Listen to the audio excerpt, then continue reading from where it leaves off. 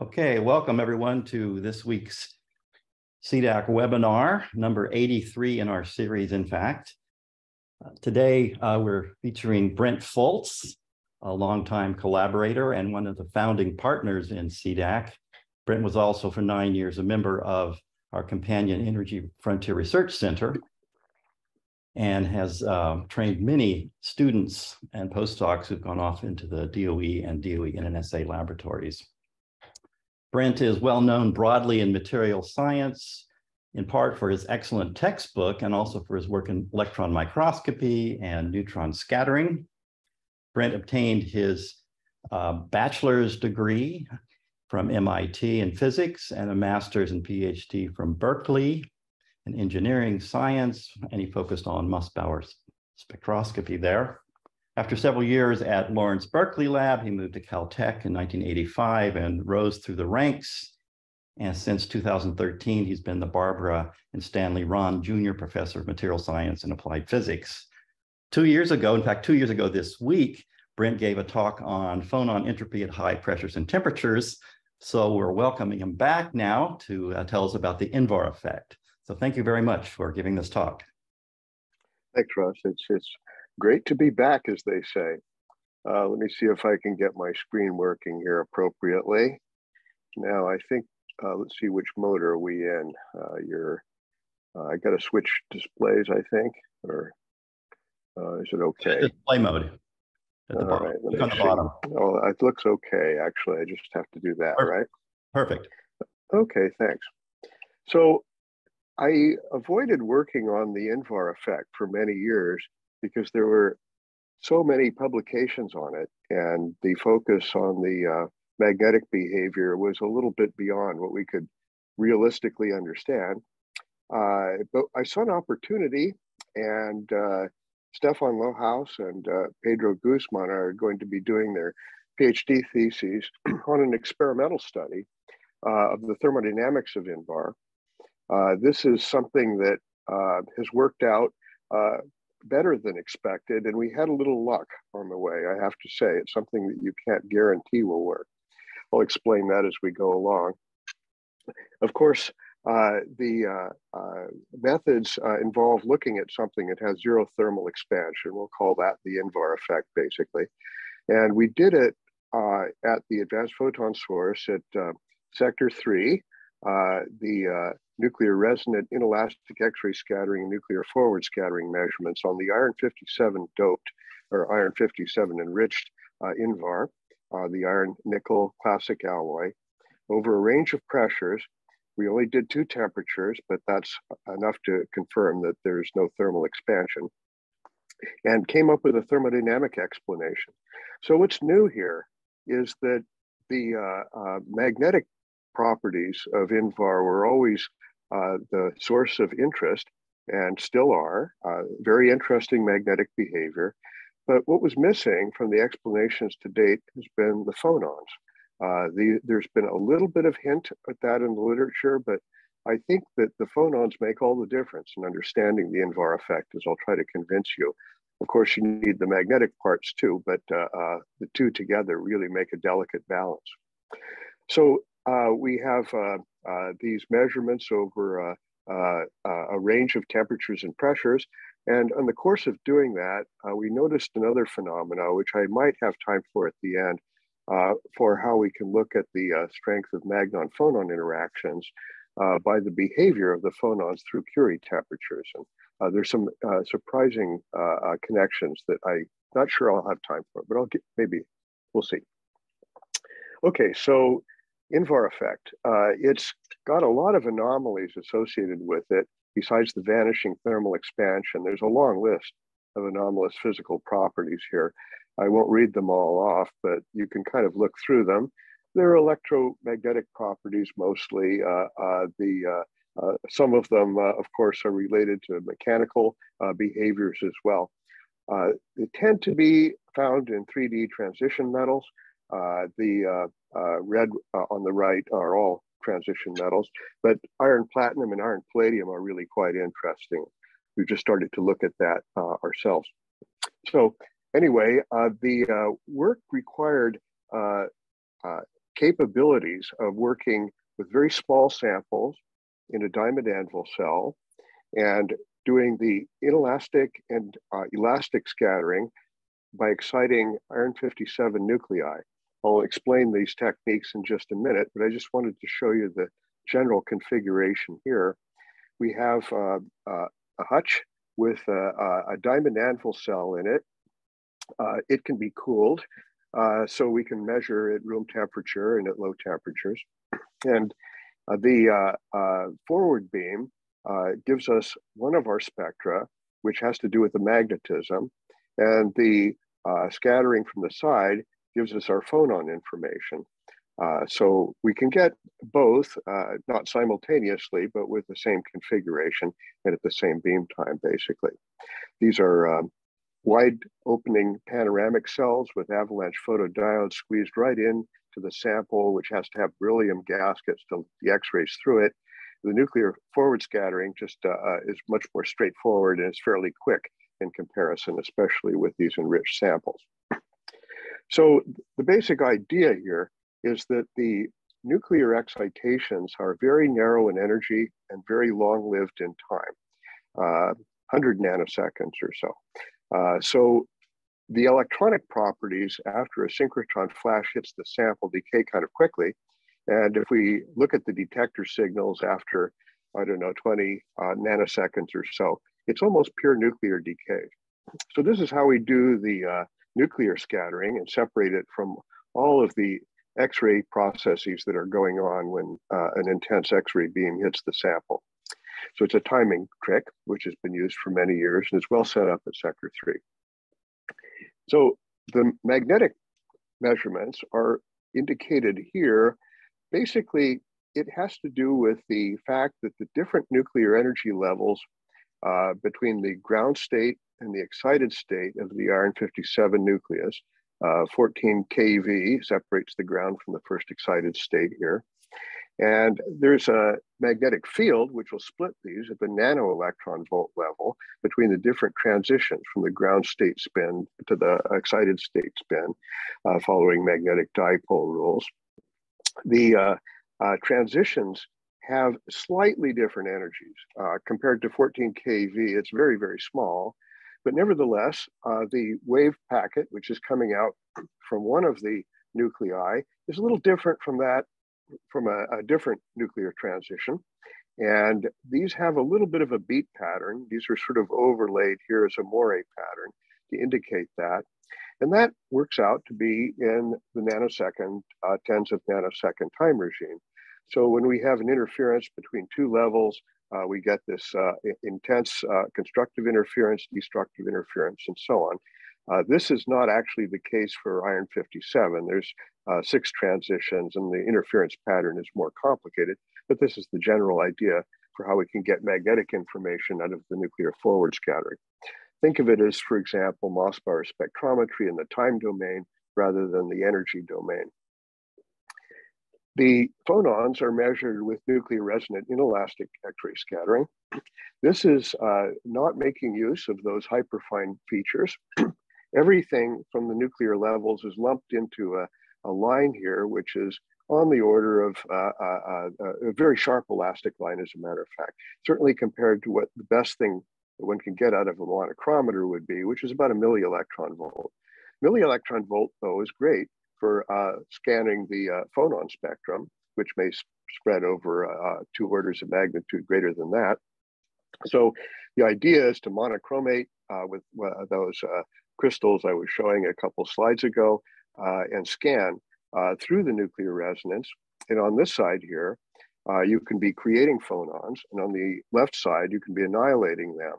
And the phonon densities of states is something you can probe by this method. There's a thermal correction factor. this is quite a bit like uh, Raman, the Stokes and the anti-Stokes lines around the uh, uh, uh the main wave length of your laser. We also see two phonon effects and so on. There's a lot of detail that we can see in the, the phonon spectra. I should point out it's from iron 57 nuclei alone. And so for INVAR, we have nickel. We can talk about that a little bit, uh, but uh, uh, that, that, I'll mention that a little bit later. So this is the these are the two basic experimental methods. Uh, for the phonon part, I have some data here, which uh, was actually obtained by a CDAC student, uh, Lisa Mauger, a number of years ago, where she was looking at iron, pure iron, BCC iron, uh, as a function of temperature. And there's this giant elastic peak, which goes way off scale here, maybe by a factor of 20 or so off the scale. Uh, down at very low temperatures, you see something which is actually a pretty good representation of the phonon density of states. Uh, these are uh, states which are uh, uh, uh, basically only half occupied, and you can create one phonon in them, and everybody's weighted about the same until you get very close to the elastic line. As you go up, you'll notice the appearance of a, a, line down here or a spectrum down here where you're able to annihilate phonons. At 30 Kelvin, there just aren't any to annihilate. Um, that would be the only zero point occupancy is down here and you can't get energy out of the zero point level, uh, which uh, in spite of what investors may have thought in the past. So the uh, a number of features you can see here, one of them is detailed balance. So there's a uh, requirement for the phonon creation and annihilation side that if you're at an energy E, which say 25 milli electron volts, let's pick that one because it's room temperature, uh, the ratio on this side to that side is this E over KT. And if this is uh, uh, 25 milli electron volts, it should be a factor of E difference on the two sides. And it is, it's about a factor of E between the two sides, uh, plus or minus at the uh, room temperature. There's also a growth of multiphonon scattering. Roughly, this goes as temperature. you can see that at about 1,080 Kelvin and 500 Kelvin here is about twice the amount of multiphonon scattering. We have a way of taking that into account. There's a very nice package called Phoenix by Wolfgang Sturhahn, uh, who is at Caltech now, but prior at Argonne. We developed and maintained this, and it works very well. So we can get the phonon spectra out nicely. Now let me go to some earlier measurements. Uh, this is the uh, citation uh, for uh, Charles Guillaume uh, when he won the Nobel Prize in 1920. Uh, actually, Einstein was slated to win it that year, but they alternated between experimentalists and theorists, so it was the experimentalist turn, and Einstein got it in 1921. but anyway, uh, this is for the services he has rendered to the physical precision technique by his discovery of the properties of nickel steel. In other words, it was a very big deal to have low thermal expansion materials for defining the length of the meter. Uh, was a platinum iridium bar that uh, may be still in Paris, I trust it is, with a couple marks on it. And they were trying to make duplicates, but it was so expensive that it was wonderful that uh, Guillaume discovered Invar uh, to make uh, uh, meter length pieces of metal for a lot less money. Here's the thermal expansion of Invar. Now, there's actually some peculiarities down here at low nickel concentrations because there's some body center cubic phase and uh, there's he was a little confused by this unfortunately if you uh, read his write-up. Uh, but uh, it's face center cubic over the interesting range. And notice how sensitive this low thermal expansion is not quite zero but pretty low uh, to the composition. It's, it's very delicate. Uh, this is um, a surprising uh, sensitivity of a physical property like thermal expansion. Now, Guillaume, in his Nobel lecture, had an interesting experiment that he reported. Uh, he made a long wire of Invar, 115 meters, and he didn't have a lot of electronics, but he pulled it up to the second tower on the Eiffel, uh, second platform on the Eiffel Tower, and connected it to a little pen recorder to a clock drum. And so as the uh, the Invar wire was attached to a peg in the ground, but as the Eiffel Tower expanded or contracted, he could measure the signal and he calibrated it well. Uh, so here's the data that he collected. He actually uh, collected temperature at the same time and the height of the tower uh, as it's thermally expanding. Uh, you can see the tracking is surprisingly good. I mean, it's a very impressive uh, uh, set of details. Uh, right here at around what six, seven o'clock p.m., I guess uh, there was a rainfall, and the temperature fell very quickly. Uh, the tower took a little while to respond. It's made out of uh, a lot of iron, and uh, it uh, had a little longer time constant. The, I looked at these data and I looked at the amount of expansion per degree C, and I thought maybe I could get the thermal expansion of iron out of it. Uh, but it turns out I was off by a factor of two because I don't think the Eiffel Tower expands homogeneously in all directions. I think it buckles a little bit, and at least that's what I think. Now, Guillaume knew that INVAR was somehow related to magnetism because he looked at the behavior of the length of his, his uh, bar here as a function of temperature. And he noticed that after the Curie point, uh, it acted kind of normal.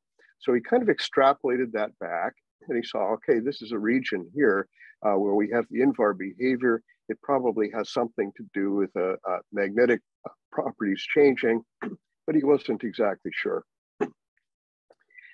Now, this led, though, to some natural explanations of INVAR. You could say at high temperatures, we know that it has a smaller volume than you would expect by regular thermal expansion. And we also know that it uh, has a, a, lower magnetization. So it's tempting to have a model where you have a high spin, high volume state at low temperature. And as temperature disorders the magnetization, then you get uh, to a low spin, low volume state, which uh, uh is uh, the range of the INVAR behavior. So this led to a number of uh, papers on this. I'm really sorry I, I, can't go through all the literature. There's a lot of good work that was done on calculating, for example, uh, the uh, energies uh, as a function of lattice parameter uh, for different magnetic states of iron nickel alloys. This is an early one uh, from the 1990s, looking at a simpler unit cell of iron 3 nickel, not quite INVAR, but it basically indicates that there's a minimum here uh, where you have the uh, full magnetization, but in an anti-ferromagnetic state, the uh, lattice parameter is a bit smaller. So that kind of looks like the right type of behavior. And this was uh, uh, uh, more of a quantitative result than Weiss had in 1963. He had a two-state model of this high spin, high volume going to a low spin, low volume state as a function of temperature.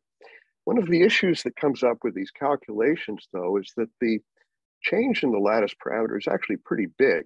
Uh, it's uh, um, on the order here of what, uh, 5% or something like that, a few percent anyway. And that's more than uh, is really involved in the um, uh, thermal expansion here at low temperatures around room temperature. Now, this is all uh, uh, there's a lot of literature here. As I said, I, I, there's a lot of pressure-induced INVAR. There was a, a disordered uh, local spin uh, models that have been done.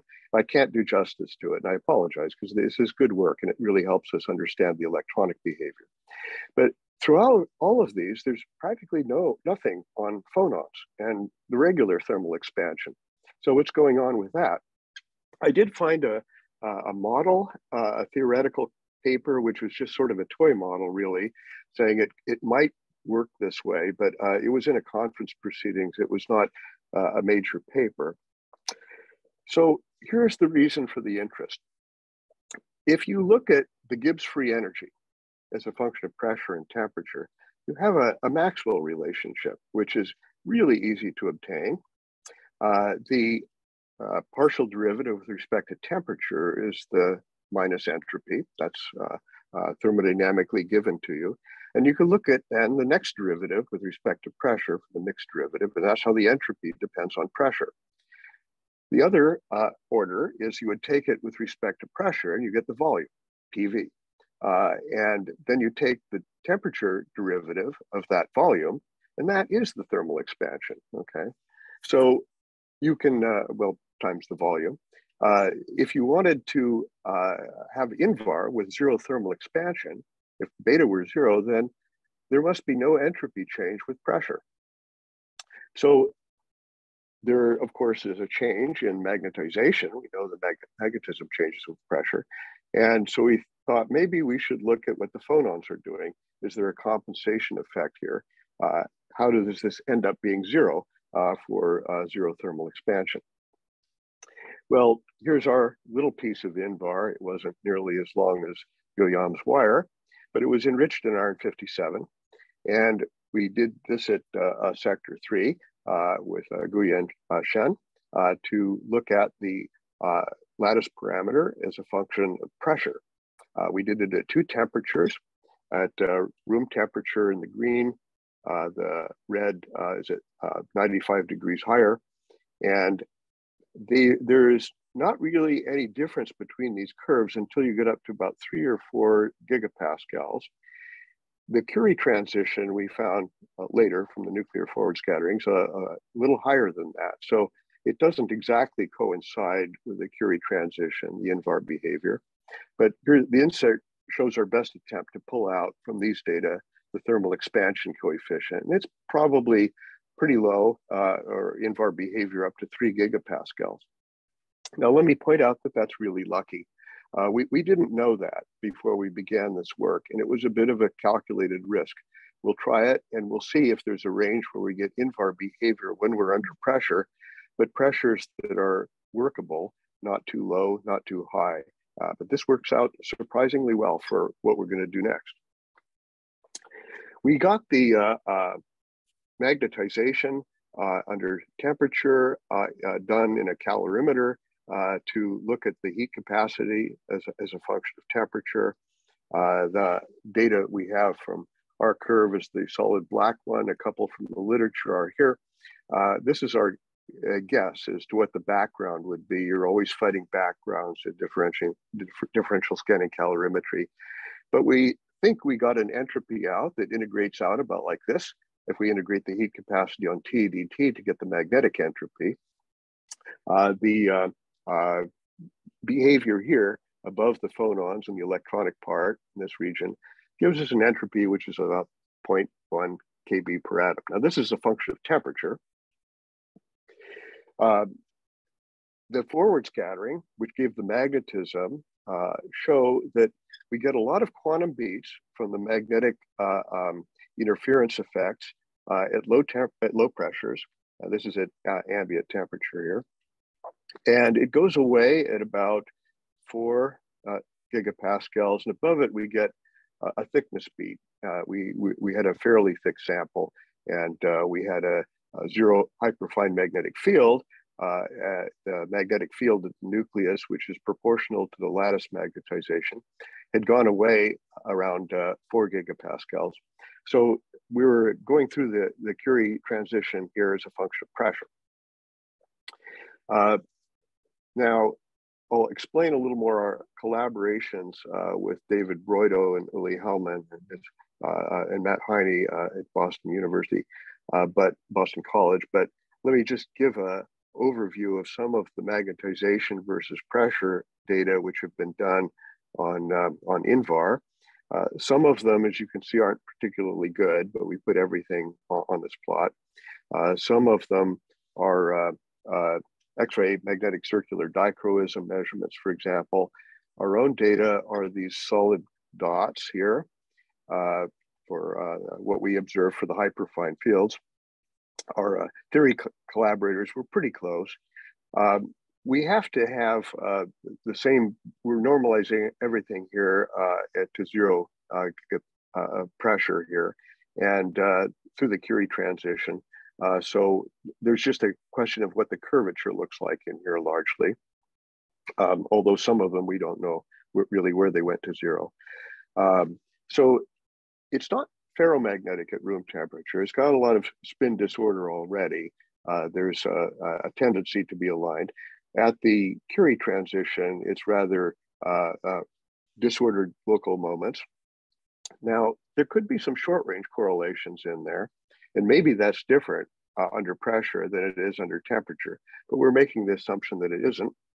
Uh, if we take the uh, magnetization uh, from bulk magnetization as a function of temperature alone and normalize it to the Curie temperature rather than the Curie pressure, and uh, go through room temperature down here at zero, the curves are similar. Okay, uh, maybe ours are, off, I don't know, but I think there's a little bit more uh, uh curvature in the uh, behavior here as a function of pressure, but it's not a very big effect. That's not going to make a huge difference to the final results.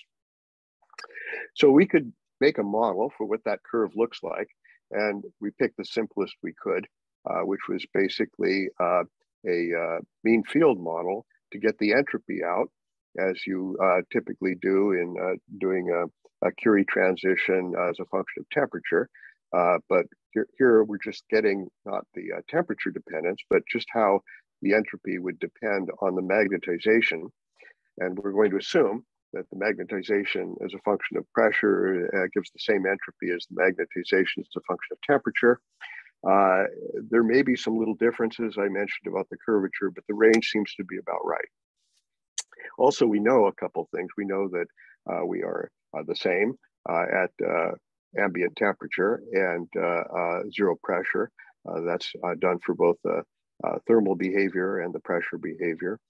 And I'm, I know that the long range order is zero uh, at the Curie pressure or the Curie temperature. So in between, uh, we'll fit the, uh, uh this type of a shape uh, to our magnetization as a function of pressure. Uh, here's the plot of the two of them. the, from the calorimetry that I showed earlier, we have that gray curve. From the nuclear forward scattering, it might be a little bit more curved. it doesn't matter that much. The accuracy of the data points are not really that precise anyway. But basically, we have a, a range of these uh, uh, magnetizations giving uh, the uh, change in entropy with respect to our uh, ambient uh, conditions. Well, here's the phonon part. this is from the nuclear resonant inelastic X-ray scattering done as a function of, of pressure on the same INVAR material, and some of it was done at the same beam time as the nuclear forward scattering. The uh, phonons down here have a, a, peak from longitudinal modes uh, at an energy of maybe 33 millielectron volts. There's uh, two Van Hove singularities from the low and the high transverse acoustic modes. Um, maybe this shows it a little better. Uh, you can calculate this density of uh, states with the Born-von Karman model. Of course, you get sharper features in the calculation than you do with the experimental resolution, but I'm just showing us all together because the energies are in good agreement, the shapes are in good agreement. So the NRIXS result, which only sees the iron 57, gives us this black curve. We also did inelastic neutron scattering. This was done uh, recently and in the past, and we've looked at iron nickel alloys, and it turns out the nickel atoms really have the same vibrational spectrum as the iron, pretty good approximation. When they're in the face-centered cubic structure, uh, the uh, vibrational uh, local densities of states for the nickel and that of the iron are about the same. So uh, we thought for this reason, we can pull out the total phonon entropy uh, from these partial DOS curves since the nickel basically gives us the same curve. Well, a couple things to look at here as a function of pressure. Uh, this longitudinal mode doesn't actually change very much with pressure uh, until you get past the Curie point, then it changes, uh, it increases. Uh, the um, behavior uh, with the transverse and um, acoustic, acoustic modes are more conventional. They kind of stiffen under pressure, not too surprising a way. Well, Here's the phonon entropy as a function of pressure. This, if you look, there's a lot of decimal points on this, and this was a real hassle to pull out data of this quality. Uh, there were questions on background, there were uh, questions on comparable statistics between the different runs and so on. But I think this is about right. I think we're being honest what our error bars are for the experimental points.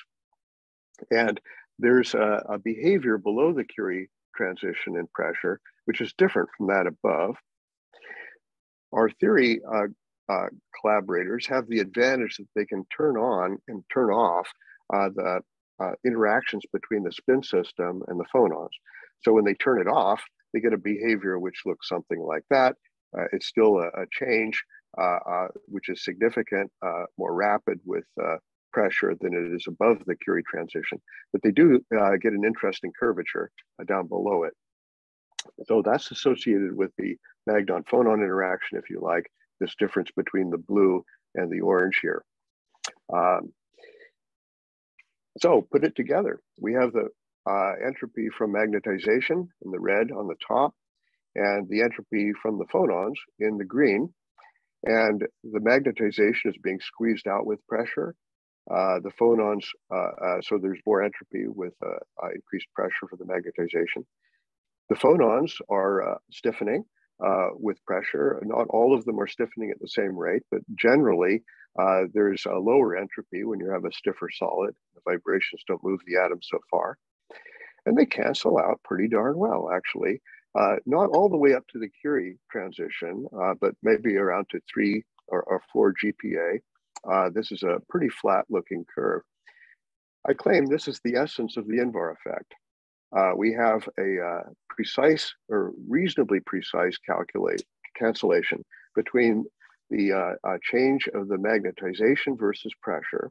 That's one piece of the thermal expansion from our Maxwell relation and that cancels the uh, phonon part, uh, how that changes as a function of pressure uh, of opposite signs. Uh, above uh, the Curie pressure, we get a fairly normal thermal expansion, and we can actually use our results from the phonons, the magnetization we're ignoring. The phonon part would predict about the right thermal expansion above the um, the Curie transition as we saw from the uh, diffraction work we did on sector 16. Okay, so we can also pull out, if we want, uh, the individual pieces of the um, uh, thermal expansion as a function of pressure. This is not so accurate, uh, especially around the Curie transition, which is worthy of uh, a bit more investigation, I think. Uh, the rapid change of magnetization, rapid changes of phonons are doing some funny things here. But down, down, down here below about 3 GPa or so, where we have the invar behavior, you can see that the phonon contribution and the magnetization contribution aren't constant individually. Uh, they change in about the same way, though, uh, luckily, uh, to give approximately uh, a, a, zero uh, for the uh, thermal expansion. So let me talk a little about the computational support for this, which is we can do much of it experimentally, but we can't uh, turn on and off the uh, uh, magnon-phonon interaction. So this was based on work that Olle Hellman had come up with, uh, which he calls the temperature-dependent effective potential method. But it was expanded uh, to include uh, disorder in the spin system and also a interaction term in the Hamiltonian, which has to do with the separations, how the exchange interactions depend on the separation uh, between local moments. So it's a local moment model. It doesn't have uh, band magnetism in it, but it does have uh, much of what we need. It's got the uh, uh, chemical disorder for iron nickel. It's a solid solution. Uh, and the temperature and the pressure effects on the phonons are included in a way that's been tested pretty well. Uh, the uh, approach is to make an ensemble of supercells, uh, which satisfy a number of criteria. In this case, the ensemble had to satisfy an experimental criterion where the magnetization was appropriately right for that given temperature. The ones where the magnetization the supercell was way off were discarded and they were not included in this calculation. So it's not truly first principles, it's measurement guided first principle calculation. But it did have in it spin orbit coupling, and I mentioned the dependence of the exchange interaction with the displacement from the phonons. And it was done iteratively. Uh, you would calculate an energy for uh, uh, each iteration on uh, an element of the ensemble, and uh, uh, you displace the atoms in a way to accommodate for the Hellman-Feynman forces that, that, you were pushing in a given direction, and seek something which is consistent with the equilibrium in the canonical ensemble for temperature. So anyway, uh, this, these are vast calculations, projected augmented wave, uh, PBE uh, uh, on, on, a supercell. Um, so one of the things I, I, showed before is that you could turn on and off the um, interaction between the spins and the phonons, and that was helpful. Uh, but you can also look at a little bit more detail here, especially with the calculations that we can't see enough clarity in the experiments. Uh, the calculations with the uh, uh, spin uh, phonon interactions at the bottom here show that up to about four gigapascals, the longitudinal peak is not shifting very much, although transverse modes are stiffening with pressure as they usually do, moving up in energy. Without uh, it, the um, uh, behavior connecting the phonons to the magnetization or fixing the magnetization, uh, you get the uh, top curve, which is more normal stiffening of all of the phonons. So the stiffening from the first neighbor radial force constants uh, is shown here uh, with the uh, full calculation and with a fixed magnetization. And uh, there's a, a, modestly big effect, although if you look at the, uh, the scale here, it's not uh, incredibly large, but it can certainly be seen. And it, of course, has to change at the Curie transition when there's now a fixed magnetization of zero. So for the longitudinal modes, uh, we have the experimental points, which are the black ones, and the ones that were from the calculations, which are a lot smoother here, the crosses, uh, again showing a, a behavior uh, somewhere around the Curie temperature uh, where these uh, uh, longitudinal modes now are no longer constant as a function of pressure, but start to stiffen as they would normally be expected to do. So let me summarize what I've got here on the entropy and INVAR. We based this whole uh, experimental plan on a Maxwell relationship. Uh, this is true when the system is in equilibrium. And for electrons, phonons, and spins, the time scale for getting to equilibrium is so fast compared to what you would measure from thermal expansion that I feel quite confident that we can use this Maxwell relationship reliably. We did have to have the INVAR behavior uh, in a useful range of pressure. And for that, we were lucky. I, we, we really didn't have great uh, complete confidence as to what the range would be uh, for uh, the um, INVAR behavior, but we kind of had a hint that we could squeeze out the magnetism with modest pressures and figured that within that range, we ought to have the INVAR behavior. And it's true, we did. So the essence of INVAR is that the change of the magnetic entropy with pressure balances the change in phonon entropy with pressure. Uh, they cancel rather well. And this is aided a little bit by the magnon phonon interaction. Usually, without uh, the, that interaction, uh, under pressure, the phonons will just increase linearly with pressure with a Gruneisen parameter or something like that. But now, with this uh, spin phonon interaction, uh, the curvature of that uh, phonon behavior matches a little bit better the curvature of the magnetization behavior. And the cancellation is a little bit more precise. You don't absolutely have to have that, but it's an interesting uh, feature that came out. It seems the uh, effects from the electronic entropy were an order of magnitude smaller uh, as we were changing uh, the, uh, the, the pressure. How does the electronic entropy change? This was a little harder to calculate on supercells of this size, but it, we can make that statement with some confidence. So I have a little bit of extra time. So I'm going to move on from the, uh, uh the INVAR, although this really is the, the core of what I wanted to talk about, because I think we understand it. We have a, a manuscript which is going through multiple cycles in nature physics, but it hasn't been rejected, and some of the referees are enthusiastic. Uh, a couple of them are out to lunch, uh, but the editor doesn't know the difference. So uh, we're hoping that they'll figure it out and we'll uh, get this thing in nature physics so we don't have to restart this whole process again. Um, now, let me show you a couple of things about uh, phonons that we have seen uh, over in relationship to magnetization.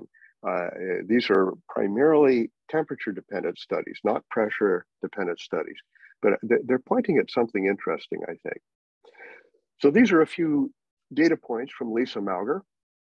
Uh, she uh, looked at uh, BCC iron over a very wide range of temperatures through the Curie transition, and the phonons change quite a bit. Um, and let me tell you about how we have to approximate the anharmonic effects. What we usually do is we do a quasi-harmonic approximation because it's pretty easy to do a calculation on that. You just change the lattice parameter and you look at the changes in the vibrational frequencies. Nothing very special. They're still harmonic oscillators. It's just that they have different forces between them. So this is a standard quasi-harmonic approximation. And from that, you get Gruneisen parameters. How do the fractional change in frequency change with a fractional change in the volume? So if we change the volume a little bit, uh, the frequency usually goes down because the Gruneisen parameter is positive, uh, uh, and we uh, expand the crystal a little bit.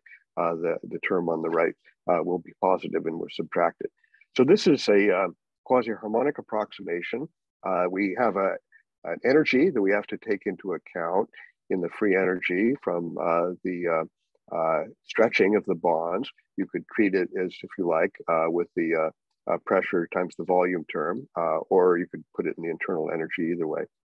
Now, let's look at another very similar approach, which doesn't have justification, but I think it's interesting that it works. Let's make a magnetic Gruneisen parameter. So this is the fractional change in phonon frequency per fractional change in magnetization. So we change the magnetization a little bit, we'll change the frequency a little bit.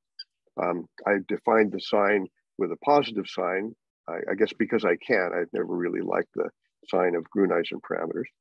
Uh, so this is very similar uh, in affecting an entropy term, and we would have a magnetization uh, uh, uh, uh type of term here.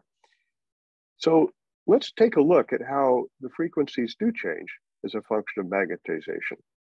Of course, we would normally have both of them together. So the, we have to take out the quasi-harmonic part. Uh, we, we can do that uh, from uh, looking at the frequencies we measure as a function of temperature. And we can say, okay, we know the amount of thermal expansion. We'll remove this part on the left and see what's left over. And we were doing this because we were interested in anharmonic effects where we have phonon-phonon interactions. But here I, am going to focus now on the alternative of having uh, magnon-phonon interactions. So here's data from the low, high, and longitudinal uh, modes, uh, transverse modes of uh, BCC iron as a function of temperature through the Curie temperature. Now, at low temperatures, you could either fit uh, a quasi-harmonic model uh, to the frequencies change with temperature, with the Gruneisen parameter. You can look up Gruneisen parameters. There's many of them for iron. They're all about the same. They're about 2.2 or something like that. Uh, there is a behavior at the Curie transition which is uh, interesting, and it's not typical of phonon-phonon interactions. Usually, uh, when you have a quasi-harmonic behavior and then you have anharmonicity, there's a linear departure from the quasi-harmonic behavior. But this one seems to track a bit more the magnetization. So this is for BCC iron on the left. Uh, this is for cementite, Fe3C. It's a much smaller effect. I don't know if I completely believe it, but the scale of it is not very big. It's tenths of a milli electron volt. This is uh, changed by a few milli electron volts over here. Much bigger effect in the case of BCC iron than in cementite. All right, uh, so here's plotting uh, the magnetization um, uh, uh, on the x-axis and the change of it as we go from ambient conditions um, down to uh, uh, towards the Curie transition. And this is the frequency shift we see of the phonons that are in the longitudinal and uh, the, sorry, this is the low transverse mode here. And this is the high transverse acoustic mode, and this is the longitudinal mode. Uh, the low transverse mode changes much more rapidly and it does track the magnetization, uh, approximately so, over a much bigger range of magnetization than I would have guessed. I would have expected it to be a small range. That might be true in cementite also. Uh, the uh, scale is much smaller. Anyway, uh, it, this is a um, spin phonon interaction. Uh, the magnetization is being altered uh, as we uh, uh, um, as the magnetization changes, the, the phonon frequencies are changed uh, approximately linearly, uh, to my surprise. Um, so this should show up in pressure dependent studies as well. as you squeeze out the magnetization with, with pressure, I would expect there's an effect on the, the phonons that, that may well be linear in many cases. Um, but uh, I, I, don't know it's one, one of the things I'd like to look at. Um, the um, behavior of the free energy, uh, the phonon free energy, uh, is shown here on the left for BCC iron and on the right uh, for cementite. And we had to take out uh, the uh, quasi-harmonic part. So this is the deviation of the phonon free energy from the quasi-harmonic approximation. And it's big. I mean, this is like on the order of uh, 30 millielectron volts up to the uh, Curie transition.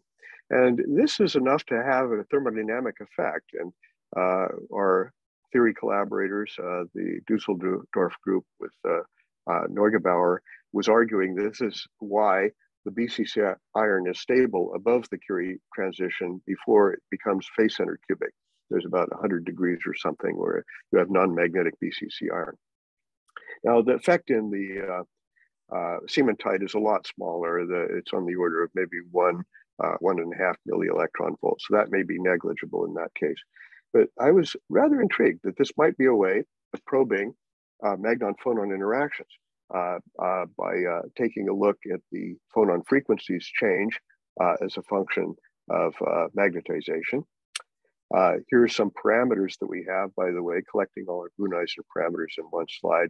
For iron and cementite, the phonon Grüneisen parameters a little over two. that's pretty standard for uh, Grüneisen parameters. And iron and cementite are about that.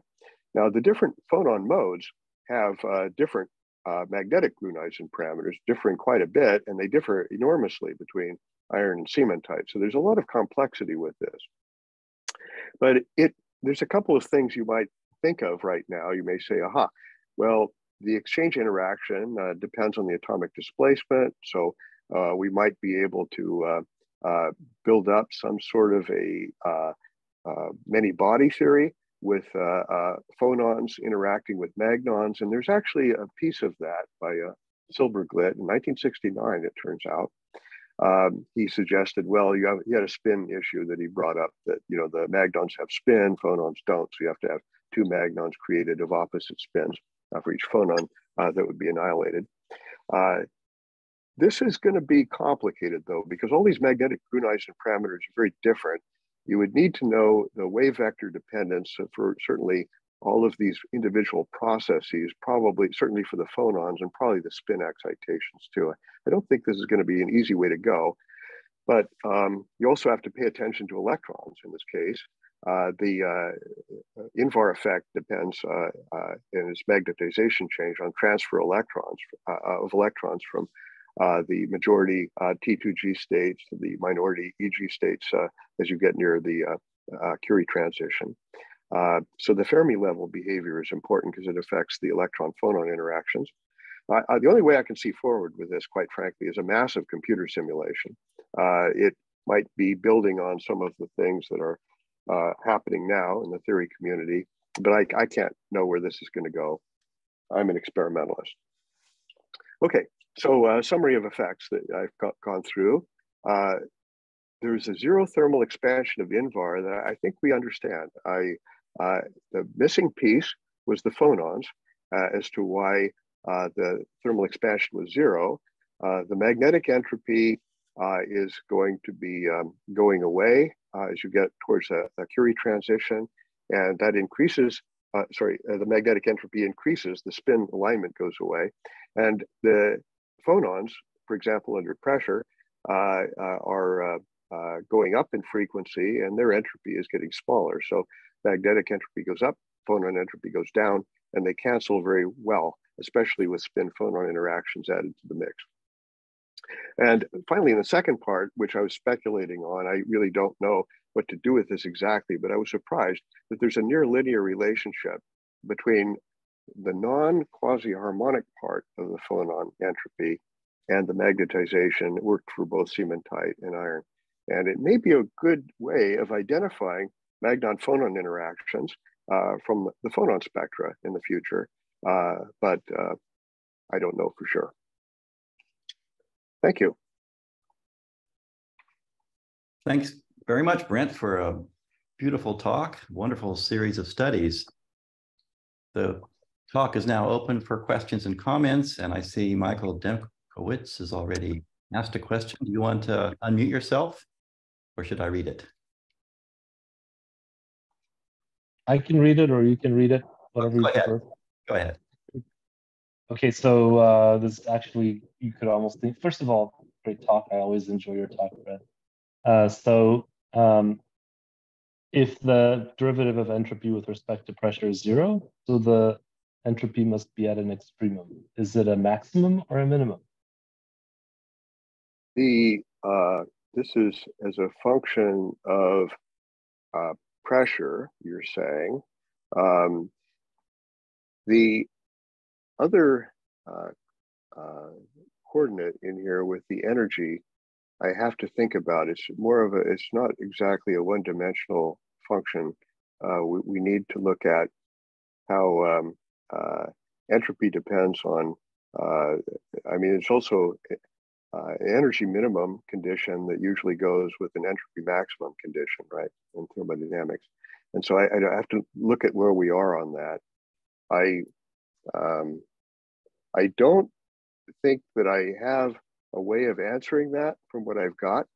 I have uh, looked at uh, the uh, Maxwell relationship for thermal expansion, and that's of course not going to give us the uh, Gibbs free energy uh, directly. It's looking at mixed derivatives probably I'd have to do some thinking about how that might integrate out. Hmm.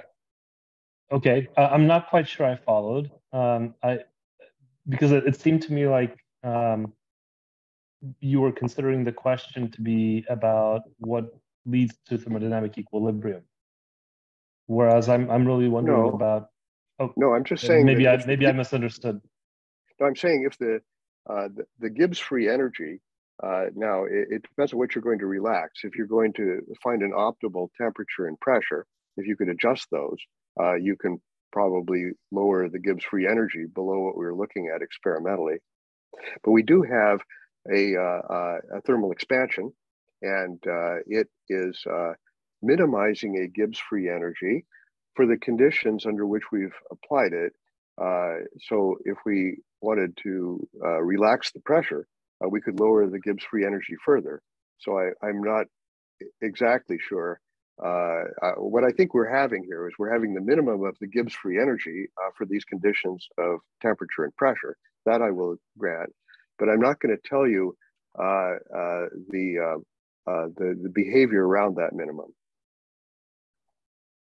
Okay, so second question was whether we might expect to find other locations where the derivative of the entropy with respect to pressure is zero if we were to look over a wider range of pressures. Um, and, and is it simply a coincidence or a, or, a, or a nice accident that in the materials we know as invars, that zero derivative occurs at zero pressure?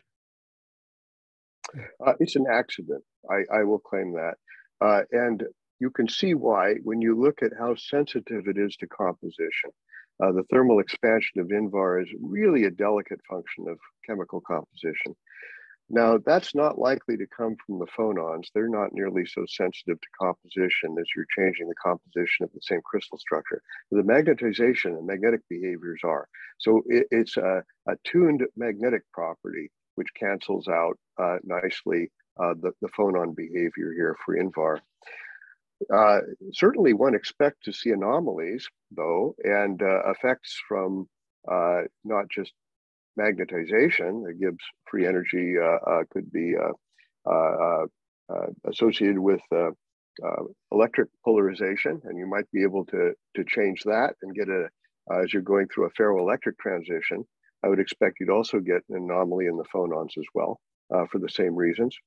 In fact, I think as you're having any thermodynamically uh, um, thermodynamic variable like temperature, magnetization, I'm sorry, magnetization, magnetic field, electric field, you will be able to find uh, through the phase transition of one of them, where there's an anomaly, uh, you'll see macroscopic effects uh, on thermal expansion.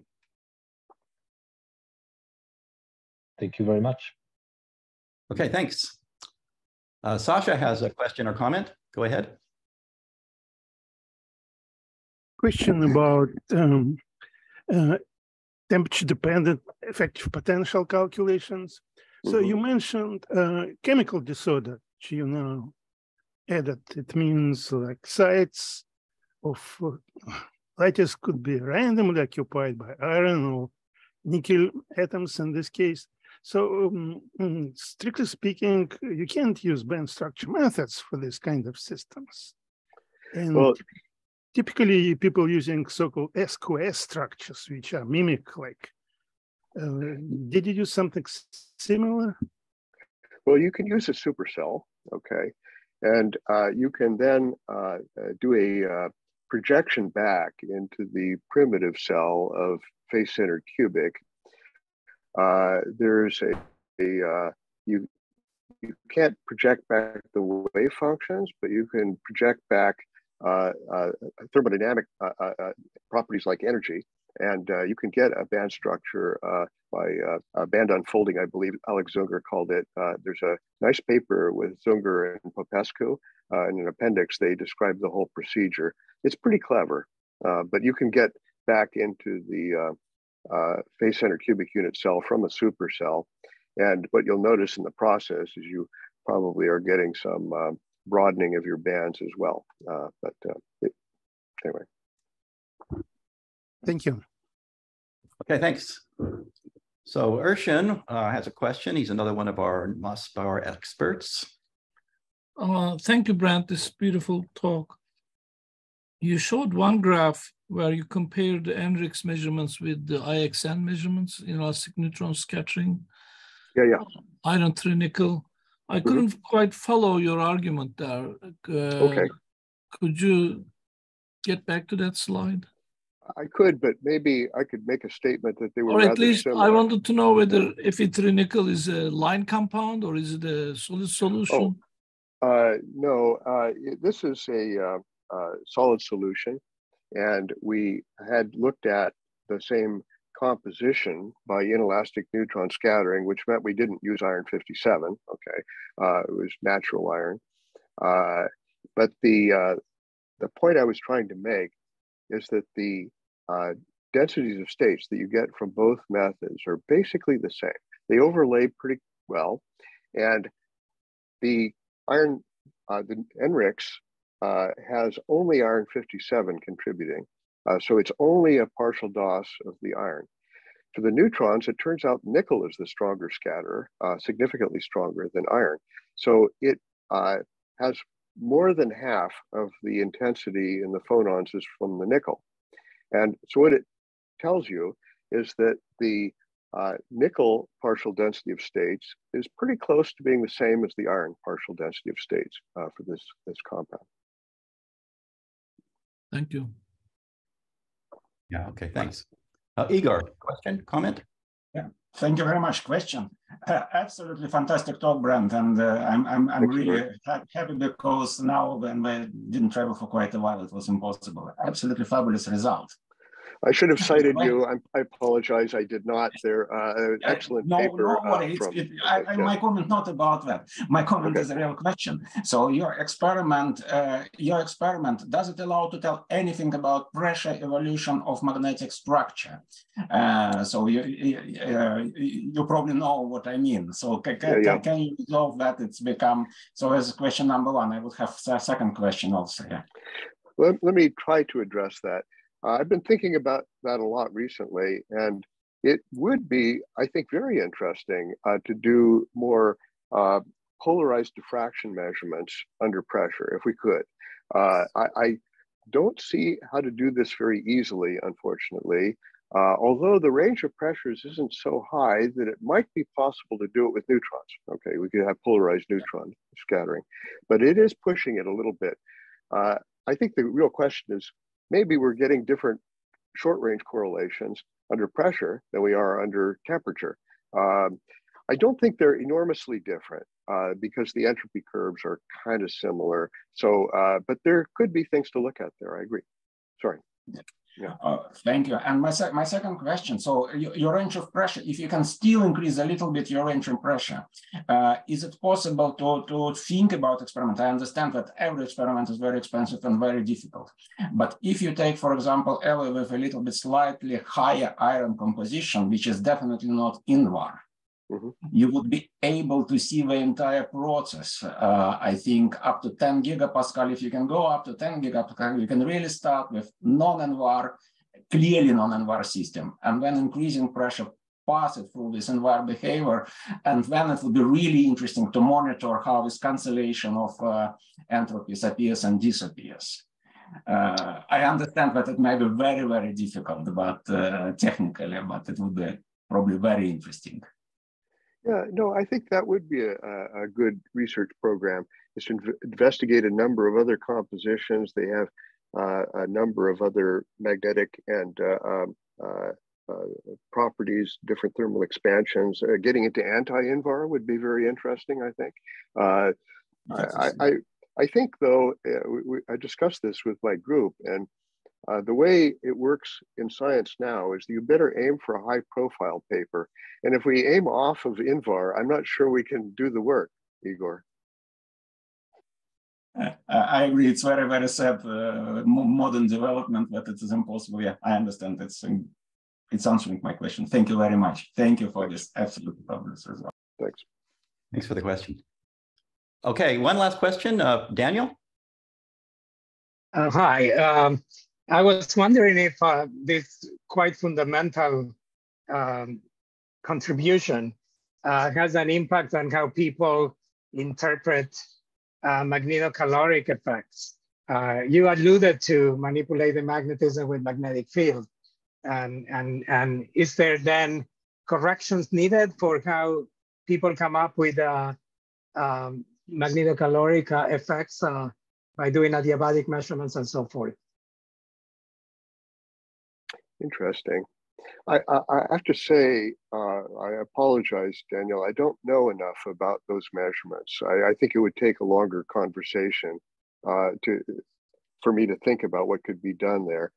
I I am aware of that to some extent, but uh, when you're bringing in uh, the contributions to heat capacity from the different components, uh, it should be relevant, I would think. But I, I can't say uh, exactly how to do a specific uh, incisive uh, type of investigation. Sorry. Yeah, no, no problem. Okay, well, thank you, Brent, for an elegant talk. It's always wonderful to hear about developments in your, in your lab, and um, it's a beautiful set of applications of synchrotron radiation and uh, neutron scattering. So we'll have you back next year. Thanks very much. Thank you. Bye-bye.